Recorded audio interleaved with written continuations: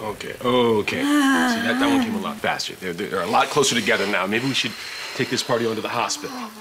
Wait, wait, wait, wait, wait, wait, Ben, wait, wait, wait. I don't, I don't want to have this baby in your car. Neither do I. We're going to the hospital. No, no, no, hey. Okay, but figure my contractions are close together, plus traffic, plus the rain, plus, uh, I don't know, a tree in the road. What are you saying I'm is you- saying that between your car and this house with heat, running water, blankets, I'm, I'm gonna stay here. Yeah. I'm gonna have this baby right here. April, no. Ben, come on.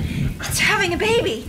At home. People have done it in caves. My mom did it once in a barn, I think. We can do this. We should just get in the car. Uh, okay, okay, okay, okay. But you know what? I'm gonna, I'm gonna call an ambulance though. Just Get us some. Oh, okay. I'm gonna have a baby. You're gonna have a baby. Meredith's rug. Right on Meredith's rug.